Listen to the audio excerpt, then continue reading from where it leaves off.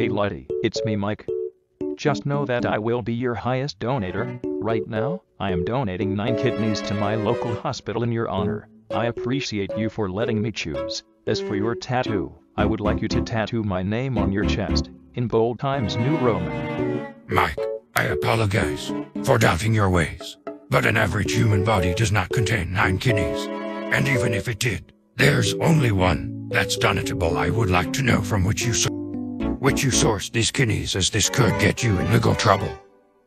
Let's just say that the Detroit Men's Bowling League will be missing a few players next week. Mike, what does this mean?